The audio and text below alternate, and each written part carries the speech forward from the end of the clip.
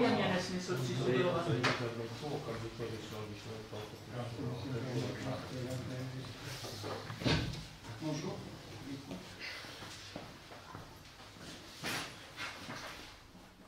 Tak, dobrý podvečer. Eh, Jako druhou eh, předvánoční přednášku eh, bude mít pan inženýr Vondrák, doktor věd Astronomického ústavu, který eh, byl eh, například eh, zástupcem ředitele Astronomického ústavu, dlouholetým předsedou České astronomické společnosti, myslím dvě funkční období, že jo?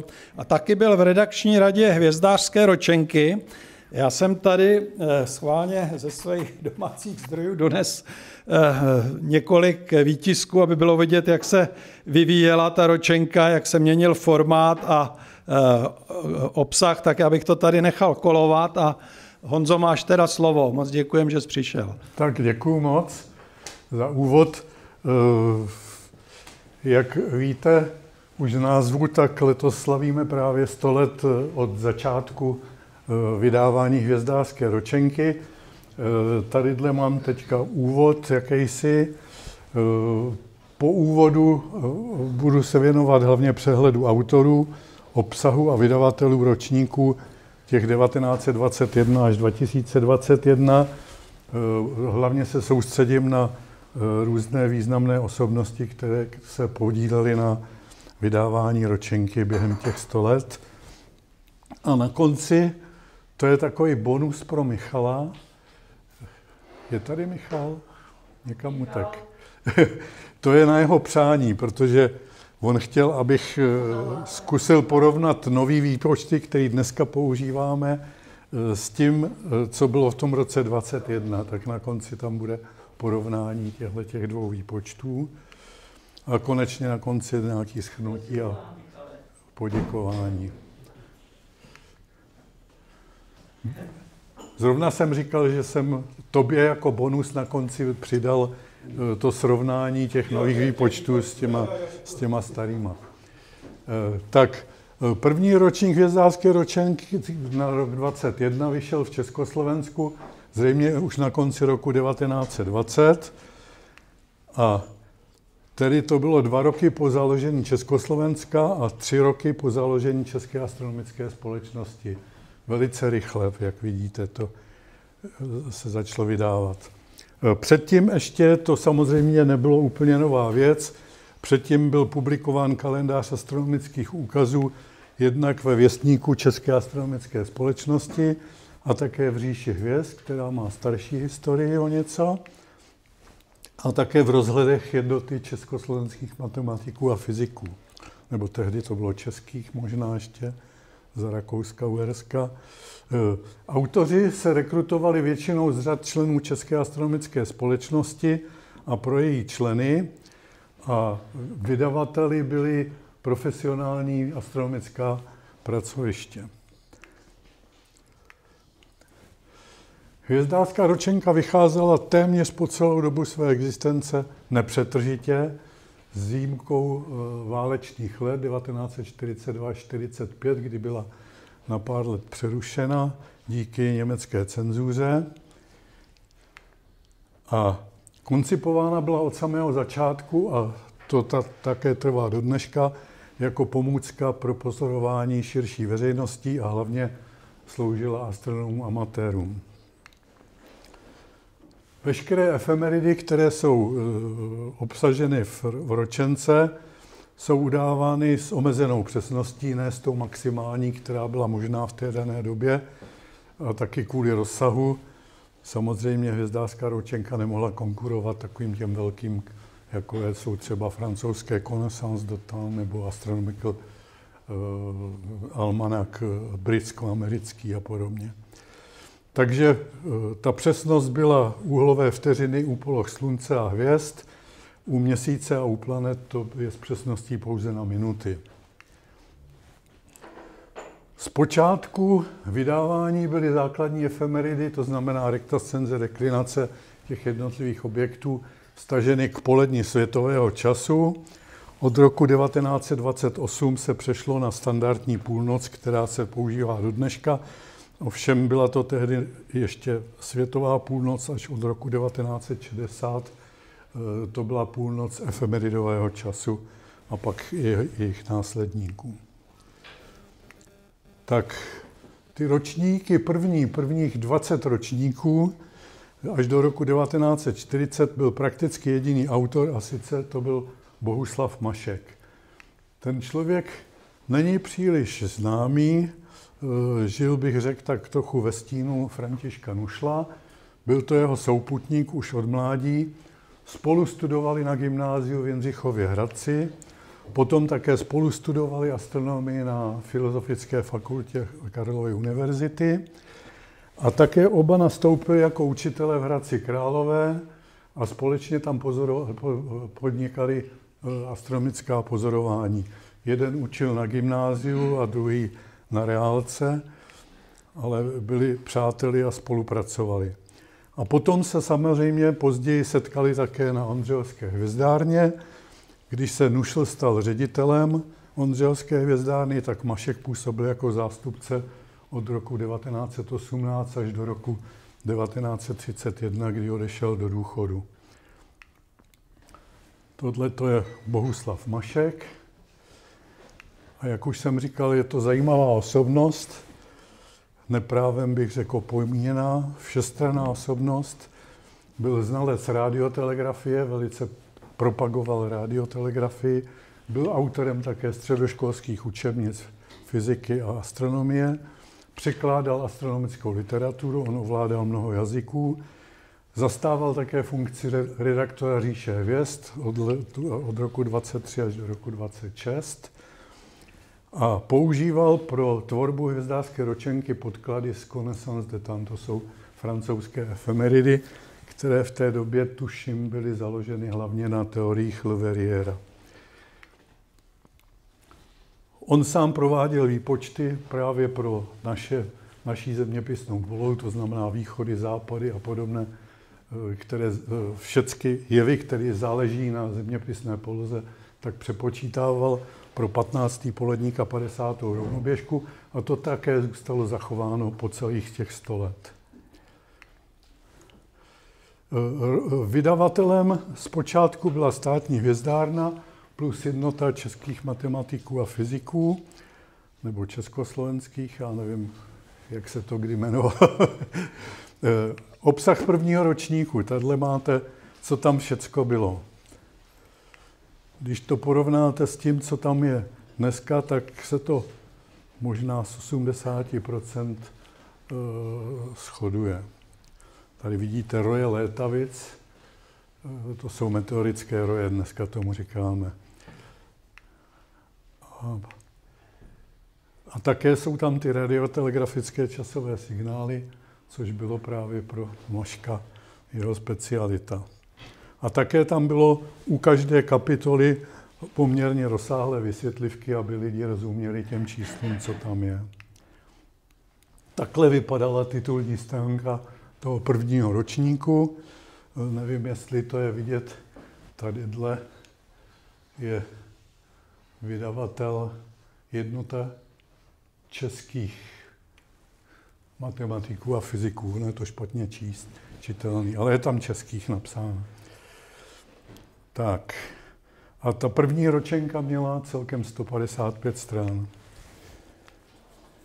V dalších letech se ten obsah dále rozšiřoval. E, Mašek přibíral další autory pro v podstatě jednotlivé nějaké maličkosti, ale pořád zůstával tím hlavním autorem. E, od roku 22 se tam přidala graficky viditelnost Merkuru během e, maximálních elongací kdy je Merkur pozorovatelný buď ráno nebo večer nad obzorem. Potom je tam také kapitola o meteorologických pozorováních Klementínu, magnetická deklinace pro Československo, kapitola o sluneční činnosti a od roku 1931 poměrně rychle i efemeridy Pluta, který byl tehdy nově objeven. V době hospodářské krize byla bylo vydávání hvězdářské retvinko ohroženo z finančních důvodů a proto byl obsah ročníku 1934 redukován, cena byla snížena a od roku 35 do roku 41 byl zařazen nově přehled pokroků v astronomii, který tehdy tam dodával doktor Vladimír Gut. O tom budu mluvit za chvíli podrobněji. V roce 1940 tam byl také e, přiložen stručný návod k použití hvězdářské ročenky. Tadyhle vidíte titulní stránku toho ročníku 34 omezeného, vidíte, už měl jenom 62 stránek proti těm, těm 155 na samém začátku. To byl vliv té hospodářské krize.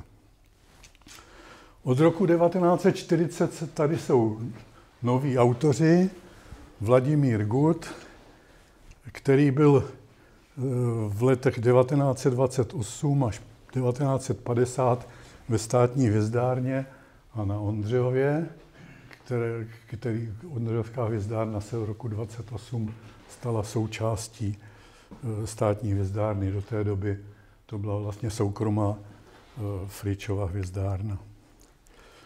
V letech 51 až 56 byl ředitelem na Skalnatém plese, to si možná pamatujete, tam byly ty aféry eh, Pajdušáková versus Bečvář. Eh, tehdy vyřešili to šalamounsky, takže tam dosadili Guta jako ředitele, protože nechtěli. Bečvář už byl vyhozený, Pajdušákovou nechtěli, tak tam dosadili eh, Guta, ale pak se stejně stala Pajdušáková ředitelkou.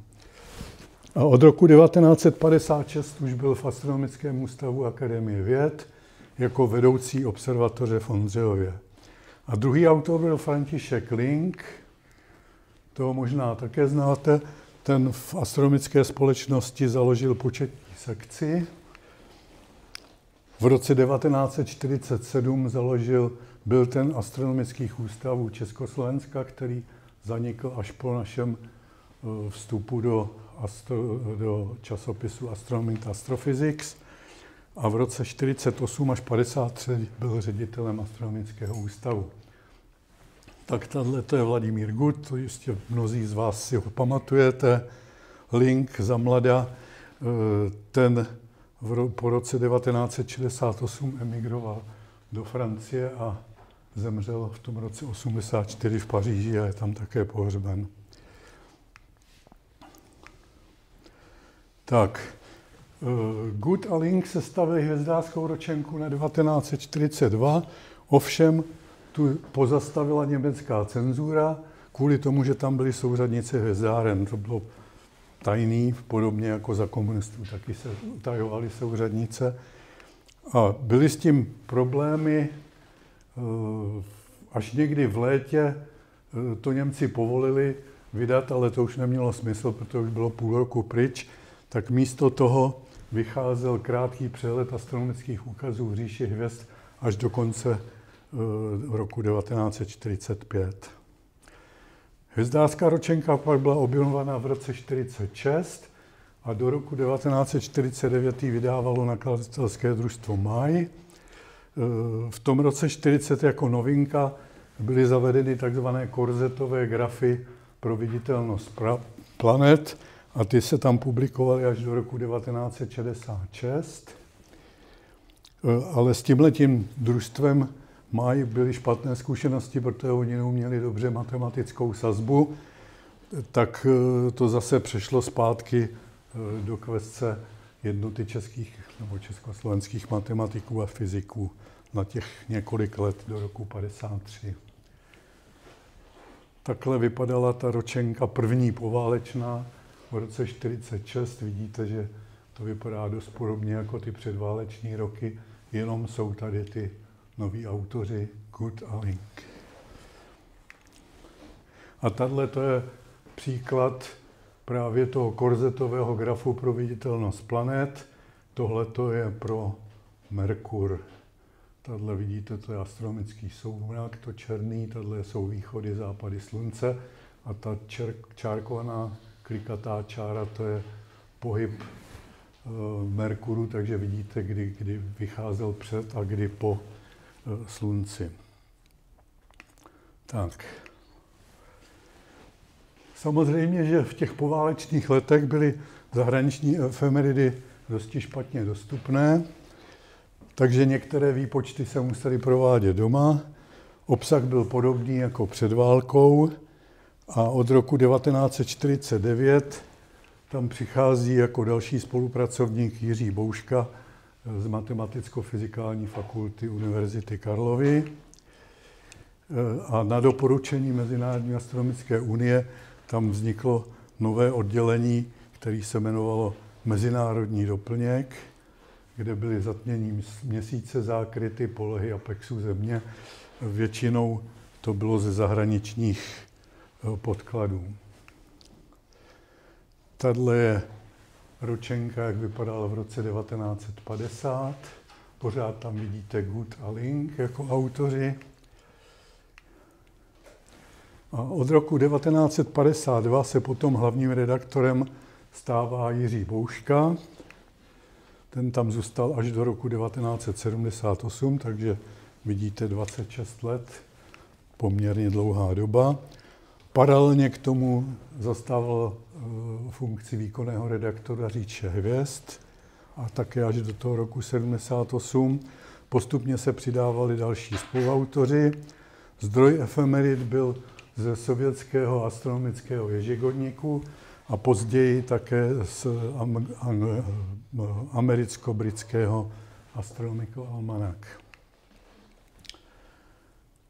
Od roku 1953 se tam znovu objevil, objevil přehled pokroků astronomie.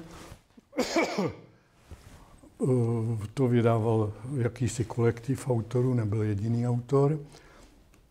A od roku 1954 přešla hvězdářská ročenka pod nakladatelský tví Československé akademie věd a tohle nakladatelství bylo přejmenováno na Akademia v roce 1966. Tadle vidíte Jiřího Boušku, jistě si řada z vás ho také pamatuje. Byl docent na katedře astronomie. Od roku 1956 se trošku obměnili ty uh, hlavní autoři. Uh, přichází tam Bedřich Ondrlička z univerzity Jana Evangelisty, tehdy Jana Evangelisty Purkyně v Brně, což je dneska Masarykova univerzita. A v roce 1960 vzrostl kolektiv na 10 autorů. Jako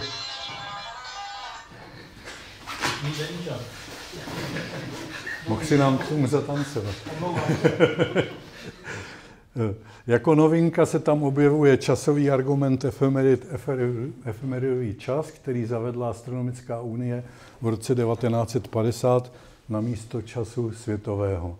V té době už se vědělo, že rotace Země je nerovnoměrná a tudíž ten argument světový čas eh, nebyl vhodný pro výpočty efemerid. Objevila se tam nově také rozsáhlá část vysvětlivek. Jeho jediným autorem byl Jiří Bouška a rozsah se rozšířil na 219 stránek. Tohle to je Bedřich Ondelička z Brna.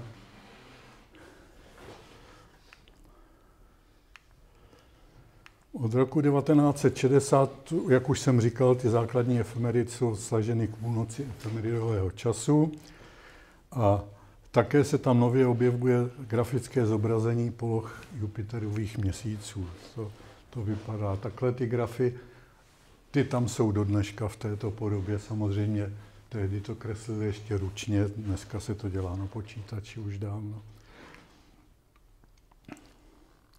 Tak, eh, nově tam od roku 1962 až do roku 2001 se objevuje podrobný přehled časových signálů.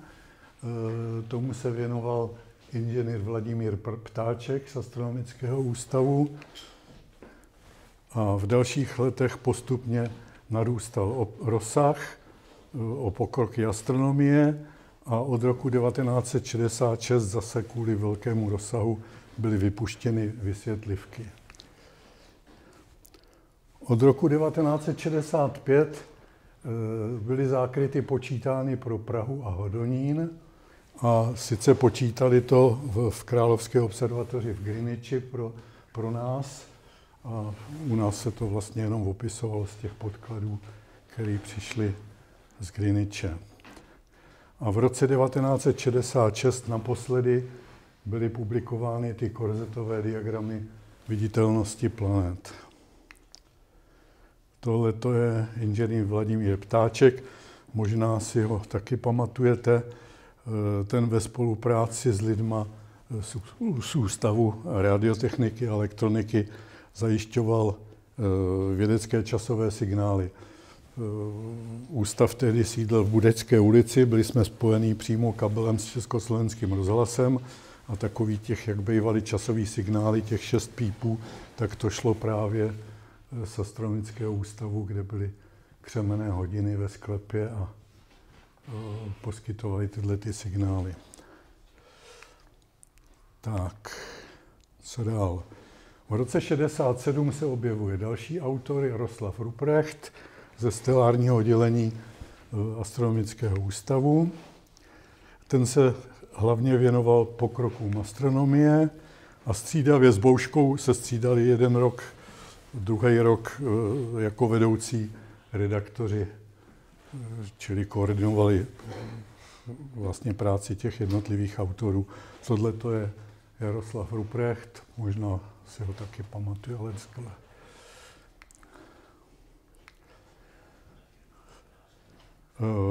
V letech 70 až 79 začaly vycházet také ve hvězdářské ročenky eh, přehledy vypoštěných umělých družic a kosmických raket. Tomu se věnoval právě Ondrlička z Brna.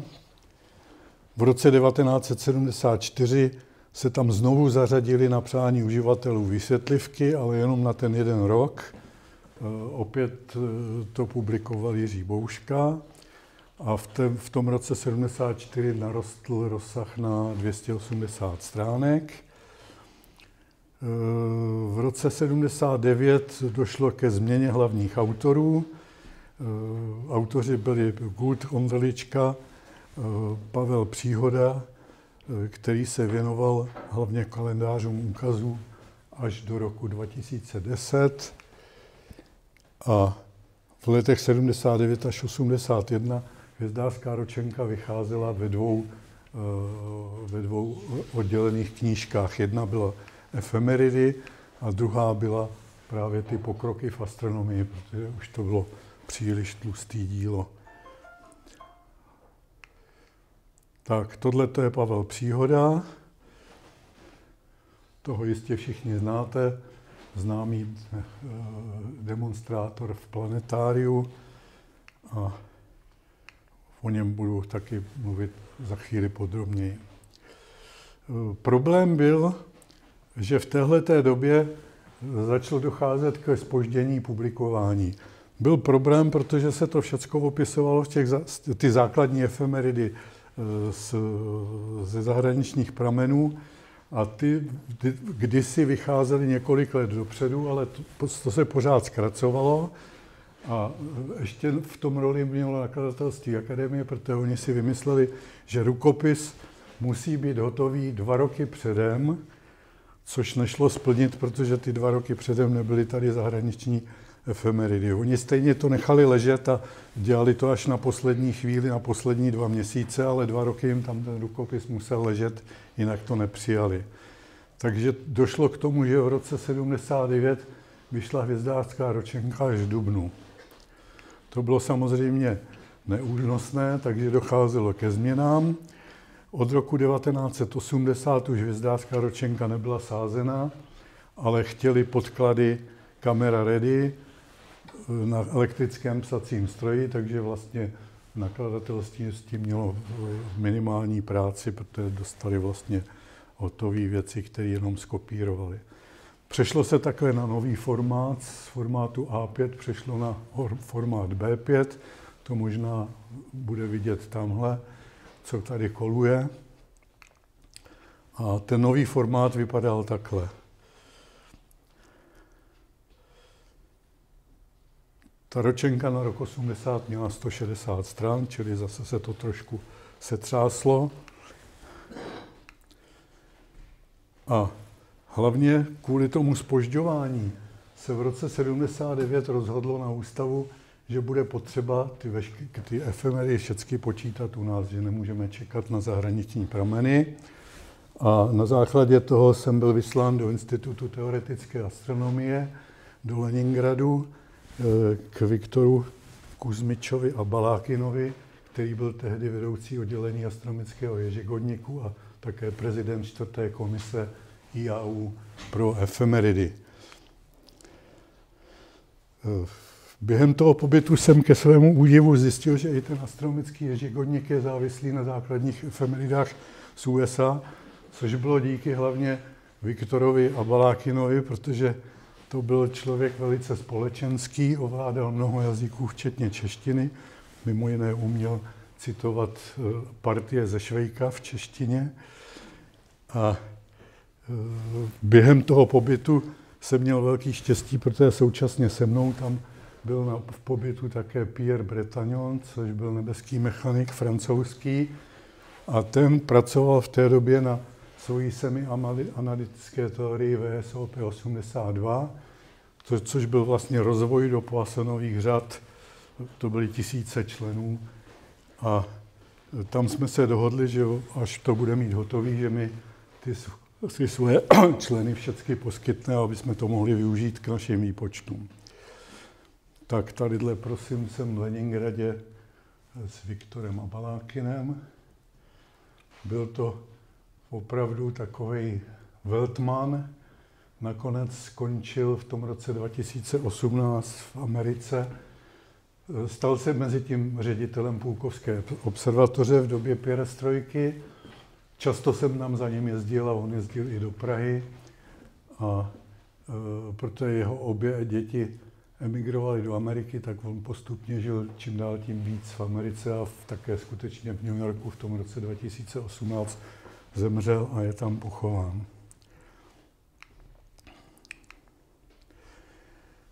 A tak došlo k tomu, že hvězdářská ročenka na rok 1981 byla poprvé už částečně počítána u nás. Ne všecko, to trvalo několik let, než jsme postupně se naučili všechno počítat. Tak byly to efemeridy slunce, tehdy ještě z Newcombovy teorie, protože jsme ještě neměli tu francouzskou efemeridy měsíce jsme počítali u nás, což byla upravená Brownova teorie na základě těchto těch mých dvou publikací. A úkazy měsíců, eh, měsíců tedy planet míněno, Jupiteru podle Sampsonovy teorie a Saturnu eh, z elementů dráhy, které byly publikovány v Explanatory Supplement pro astronomické efemeridy a také zdánlivé polohy hvězd. Tak tohle to byly právě ty nově počítané už úplně od samého začátku u nás nezávisle na zahraničních pramenech. Veškeré výpočty se prováděly v Ondřejově na sálovém počítači EC1040, což byl výrobek z NDR, pak v roce 84 přišel místo něj EC 1045 sovětské výroby. Jo. A dělali jsme to tak, že výstup z, tohohle z těchto velkých sálových počítačů šel na děrnou pásku e, a ta byla použita potom v organizačním automatu Konzol 253, to byl zase československý výrobek, což byl vlastně elektrický psací stroj řízený děrnou páskou.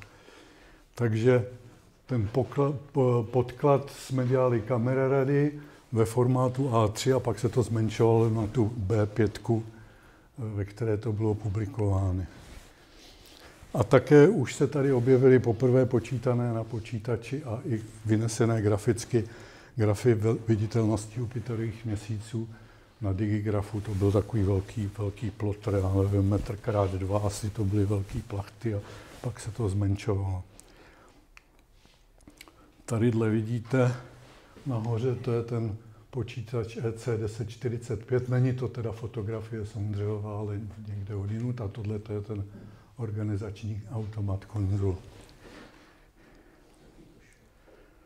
Tak. A co dál? Od roku 82 existovalo nové složení hlavních autorů.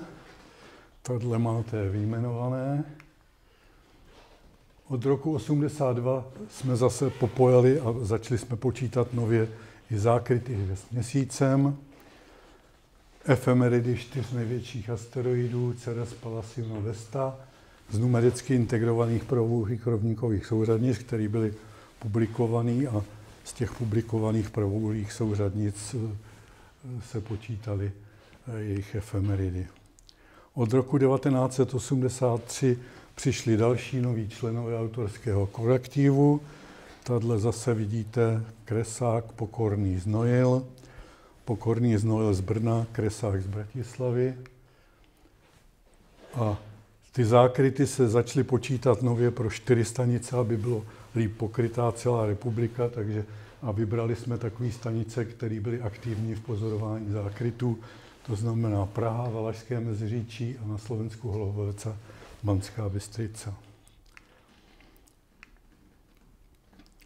A konečně v tom roce 82 uh, eh, mi poslal Pierre Bretagnon uh, magnetickou pásku s těmi svými tisíci členů rozvoje a publikováno to bylo v Astronomy Astrophysics v roce 82. Já jsem na základě toho vypracoval programy pro výpočet efemerit všech planet s výjimkou tedy Pluta, ten tam nebyl. A od roku 85 už jsme počítali veškeré efemeridy planet podle této teorie Bretagnonovi. Eh, Pluto potom z rozvoju Žána Šaprona z Pařížské observatoře, což byly vlastně nějaké aproximace eh, zase do Poissonových členů, ale napasovaný to bylo na numericky integrované polohy eh, v intervalu 1805 až 2030. Tohle to je Pierre Bretagnon, bohužel předčasně zemřel. To byl taky velice sympatický chlapec. V 60 letech po zdařené operaci, komplikované operaci srdce za dva týdny umřel. Zřejmě na nějakou embolii.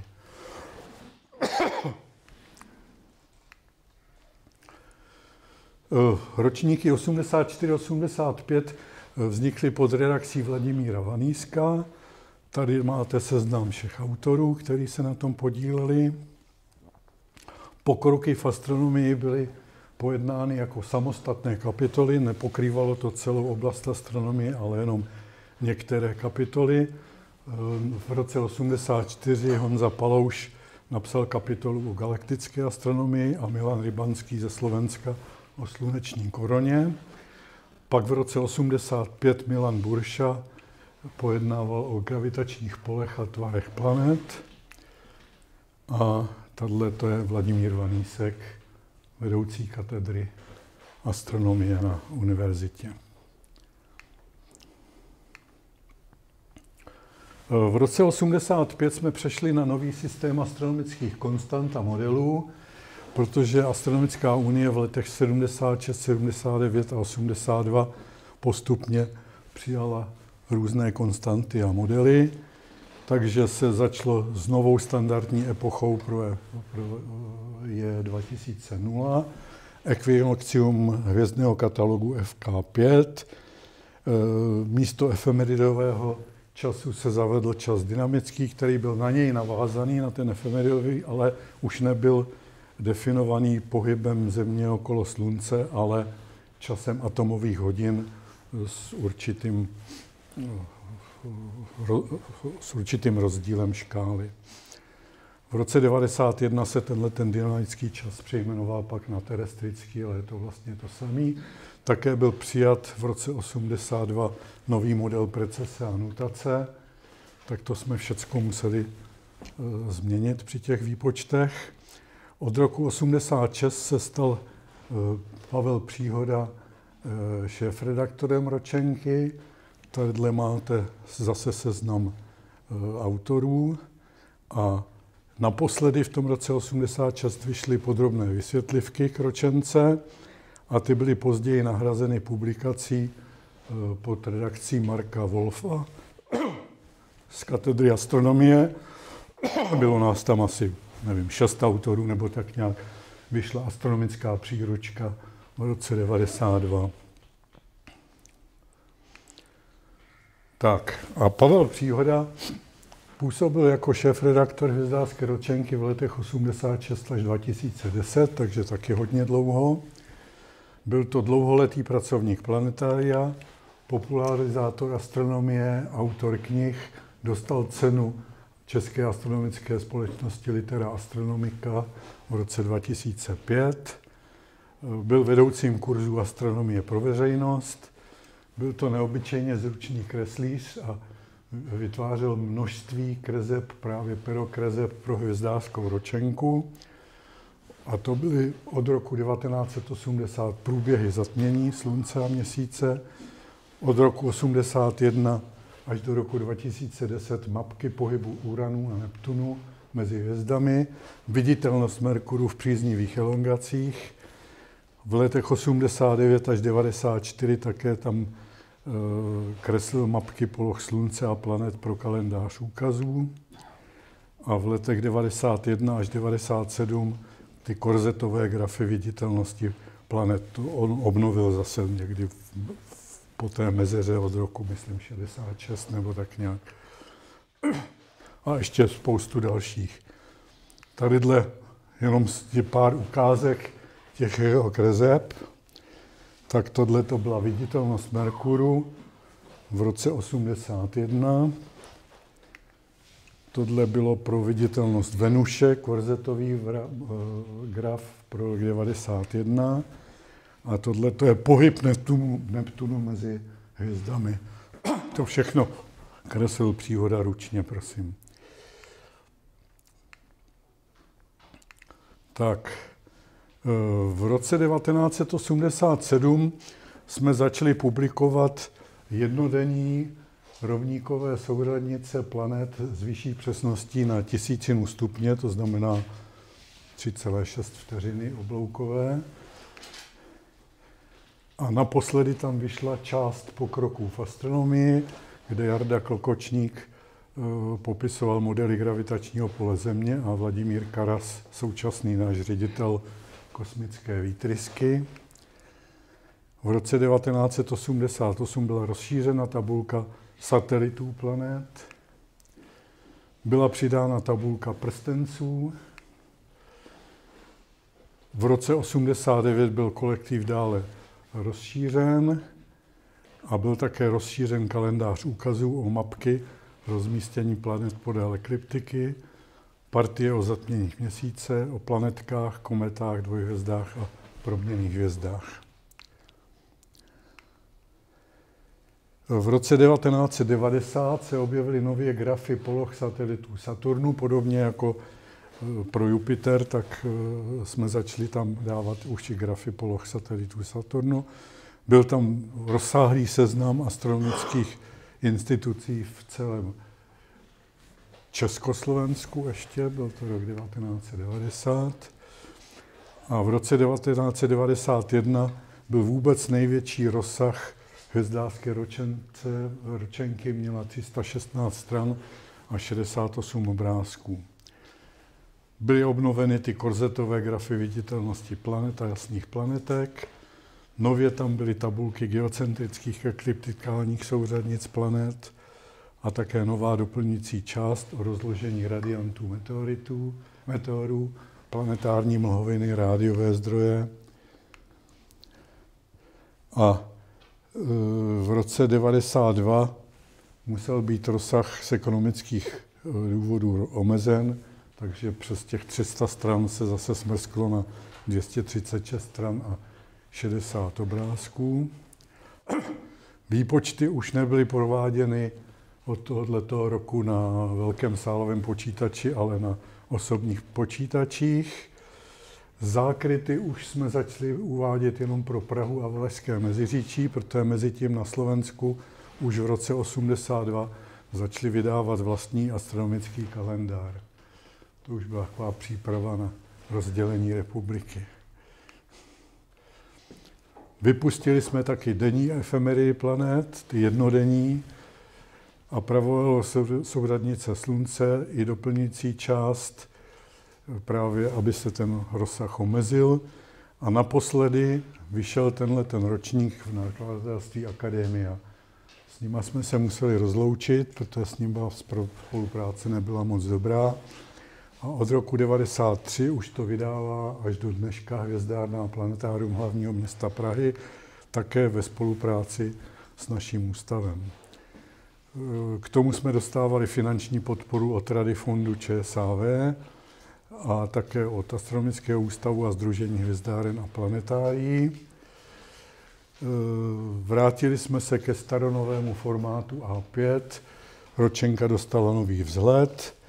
Hlavní autoři jsou uvedení tadyhle.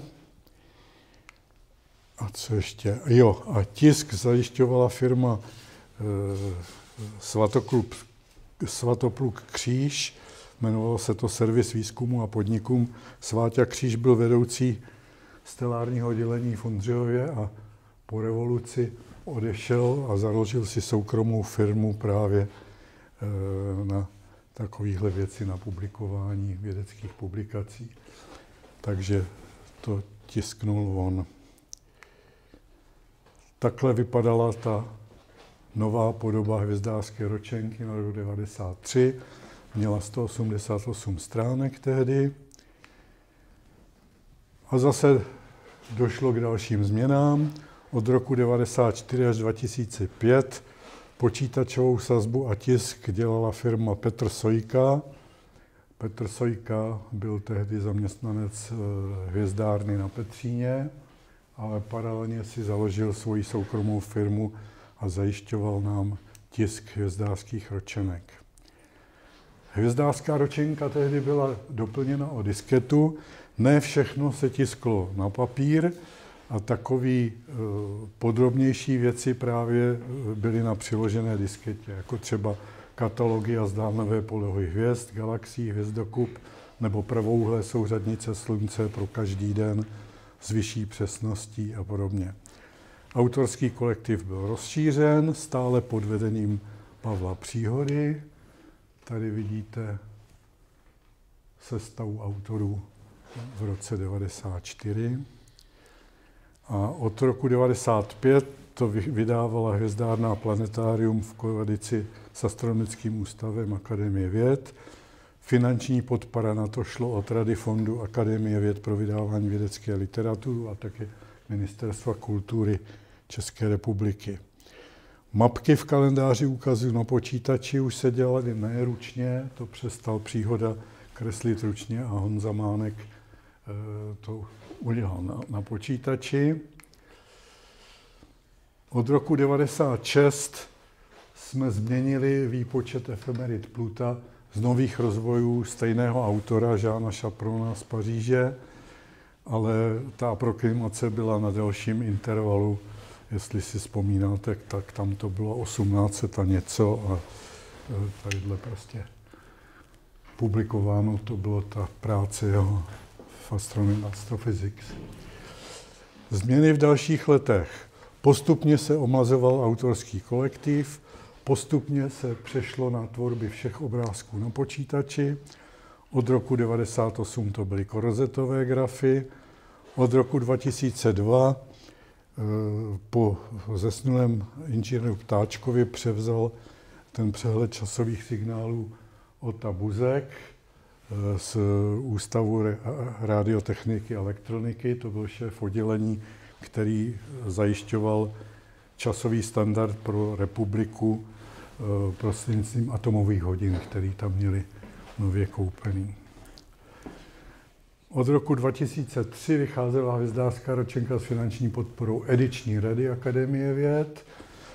Ten obsah diskety se přesunul na internetový server Planetária a od roku 2007 už byl vypuštěn přehled časových signálů, protože přenos času se už dělal jinými metodami, například pomocí GPS a podobně.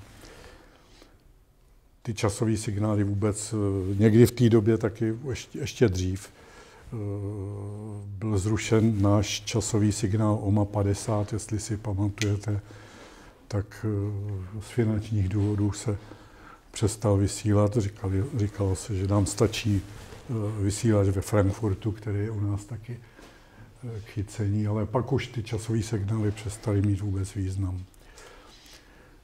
Rezoluce z roku 2006, což bylo u nás v Praze, Kongres Astronomické unie, tam si jistě pamatujete, že Pluto byl vyřazen ze skupiny planet do trpasličích planet, takže od roku 2008 tam vznikl v hvězdářské ročence nový oddíl pro trpasličí planety.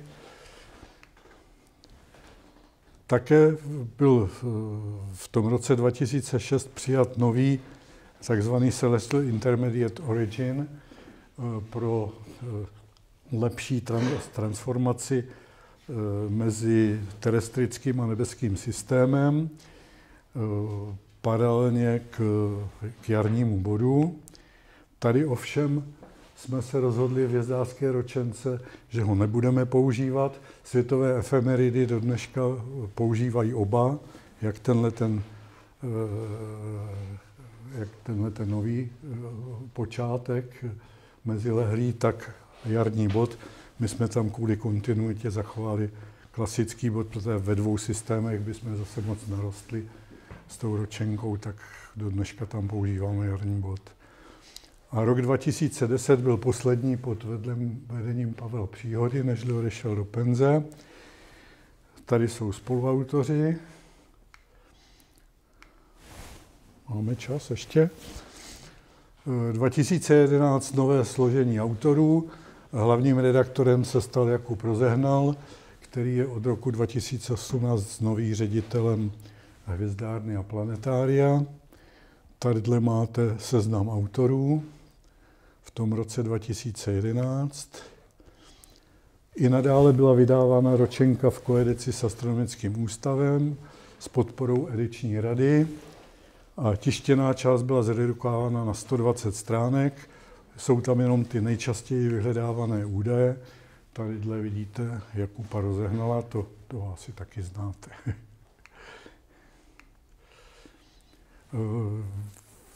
Hvězdářská ročenka dostala novou podobu barevnou. Hlavním tvůrcem je Martin Fuchs ze Hvězdárny a Planetária, který provedl návrh a vývoj prostředí, ve které se to e, celá sazba provádí a tiskne. I grafická úprava je nová, všechny obrázky už jsou na počítači, nová podoba grafů viditelnosti planet. Tadyhle vidíte obálku toho ročníku 2011. A tahle je jako příklad graf viditelnosti Merkuru v roce 2011. Jako příloha je interaktivní digitální ročenka na CD, byla v té době s podrobnými informacemi. V plném rozsahu byla přístupná na webu pro každého majitele hvězdářské ročence, kdo si koupil ročenku, dostal i kód přístupu na web takže měl jednak to CD a jednak ještě to též na webu. V dalších deset let už nedocházelo k velkým změnám. V roce 2012 přibyli další autoři, ty vám takhle přeskáču. Od roku 2014 jsme změnili výpočet pohybu planet podle Britanionovy novější verze eh, VSOP 87. A od roku 2020 už vychází ročenka bez toho CD, je pouze online verze, ta kompletní na tato webovské adresy, zase pro majitele ročenky je to přístupný zdarma. Nebo zdarma. Je to v ceně té ročenky. Tak. Zatím poslední je 97. ročník, ne stý, protože tam byla ta mezera za války. A přestali jsme dostávat finanční podporu ediční rady, protože tam se změnil šéf nebo šéfka a eh, začali podporovat hlavně eh, literaturu z oblasti společenských věd. Říkali, že ty technické přírodní vědy se můžou na sebe vydělat sami a nepotřebují žádné dotace. Pod redakcí zase Jakuba rozehnala tadyhle vidíte autorský kolektiv toho posledního ročníku. A tohle to je hvězdářská ročenka na letošní rok. Tahle ještě je taky zajímavý se podívat, jaký byl náklad ročenky během těch let. Tady vidíte, jak to narůstalo postupně až přes 7 tisíc, ale po roce 91 to prudce kleslo dolů, zřejmě kvůli tomu, že řadu těchto těch informací si lidi můžou najít na webu a nemusí si kupovat hvězdářskou ročenku, takže ten náklad postupně klesnul asi na 1200, teďka se udržuje trvala na těch 12 stech. Takže i tak se to pořád docela slušně prodává. No a tahle jsou teď ty porovnání, co chtěl Michal, já tě zklamu, protože rozdíly tady žádný skoro nejsou vidět. Je to daný vlastně tou přesností publikace, protože ty staré modely, které používali v roce 2021 a ty nový, když se v oboje zaokrouhlí na to, s jakou přesností je to publikované, tak tady vidíte jenom ty červené kroužky jsou rozdíly, to je v podstatě zaokrouhlování. O jedničku se to liší u toho slunce. Na, posl- na poslední místě. To je, počkej, to se týká deklinace a je to, počkej, ne, ne, ne, ne, to se týká rektascenze. Tohle to, to tyče. Deklinace je úplně totožná a je to desetina časové sekundy v rektascenzi. Čili na tu desetinu to sedí prakticky stejně. Trošku víc tady toho bude, já nevím, u měsíce zase je tady ten nový výpočet, zase jenom vidět, eh, jenom někde na konci. A pokud jde o planety, zase vidíte, tady se to liší vlastně jenom eh, v tom posledním sloupci a to je diametr. Jo? Tahle je rektascenze, deklinace, vzdálenost v astronomických jednotkách té planety a tadyhle je průměr D je 1,8 vteřiny, tahle 1,7. To je daný tím, že se tam změnila konstanta nějaká jenom. No, co dál? Venuše, to je všecko podobný, jenom opravdu to, kde vidíte červený kroužek, tak to je rozdíl proti tomu, jak to bylo publikované v tom roce 2001. Saturn, Uran, Neptun. Tak a přicházím k nějakému shrnutí. Eh, chtěl bych jenom tady říct, že za tu dobu existence ročenka procházela dosti častými změnami a úskalími, ale vždycky, když byla ohrožená, tak se to se zdarem podařilo nějak vyřešit. Vždycky se našli lidi, kteří začali eh, spolupracovat a převzali tu otěž od těch předchůdců. Takže bychom měli všem těm lidem, kteří na tom pracovali, poděkovat. Ten kontrolní výpočet, jak už jsem říkal, ty rozdíly jsou menší než přesnost publikovaných efemerit. Takže kdyby jsme do dneška používali ty modely z toho začátku 20. Eh, století, tak by se velké chyby neobjevily. A hlavně bych chtěl poděkovat za spolupráci knihovnám Astronomického ústavu a Geofyzikálního ústavu, protože jsem potřeboval hodně les do těch starých ročníků. A taky hvězdárně Františka Pešty v Sezimově ústí, tam mají výborný na webu digitalizovaný archiv říší hvězd a podobně.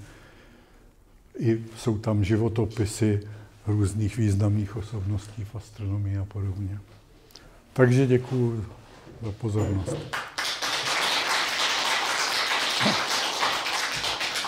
Takže moc děkujeme za skutečně nádherný výlet do historie hvězdářské ročenky. Doufám, že jsem vás moc Teď eh, jsou, je místo pro dotazy. Tak. Honza Ondra. Já jenom, jenom takovou zajímavost, jak pan profesor, jak pan profesor mluvil o tom, že v roce 34 v době krize, tam byla trošku krize taky pro no. hvězdářskou ročenku, tak jak se tady ukazoval vlastně teďka ten pokles toho, nemusí být hospodářská krize, nastanou nové technologie a taky jsou pak problémy. No jo, no, samozřejmě. Ale zdá se, že to teda zatím běží. Zatím to už teďka řadu let se udržuje ten náklad na těch 12 no, stovek a prodá se to. To, je, to jenom jsem chtěl říct, že někde to byla hospodářská krize a někde to může být prostě krize způsobená vlastně no, pokro, pokrokem. Že jo? jo. No.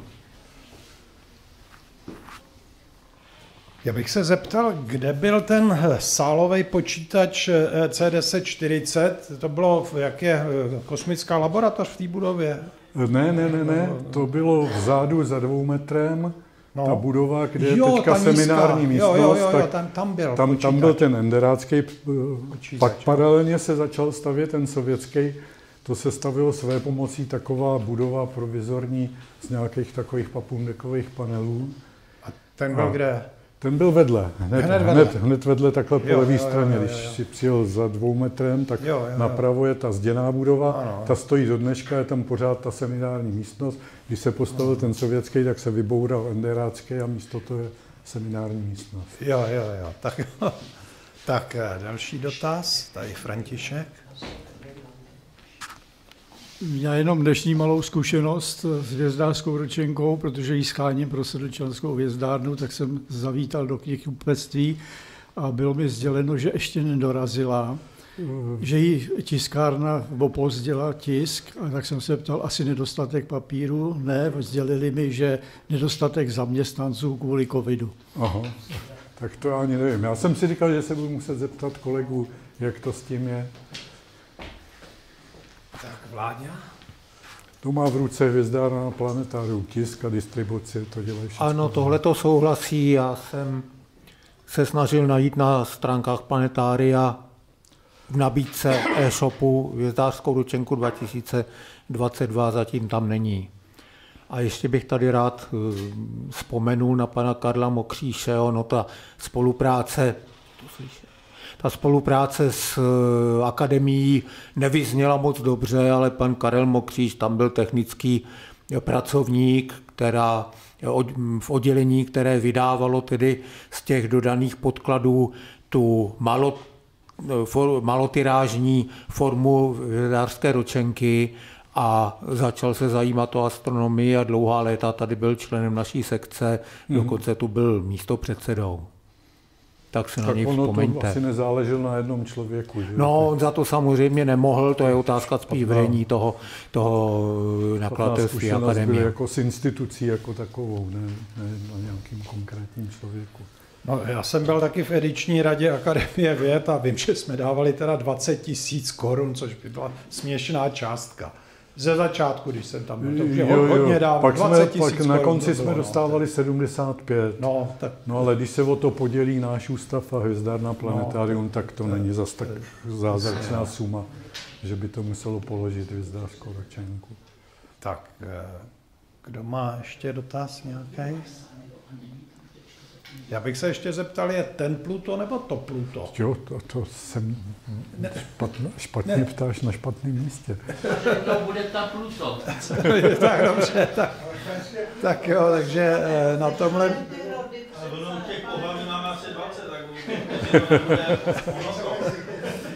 Jo, tak eh, eh, vládě se hlásí. Já říkám ten Pluto asi, protože to je podle Pluta, jak byl ten kreslej pes takový. Já bych řekl, že u planet je to podstatné, u trpasličích planet už je to jedno.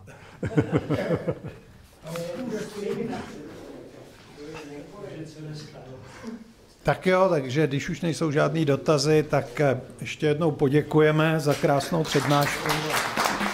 Děkuji za pozornost. Ne, bylo to úžasné.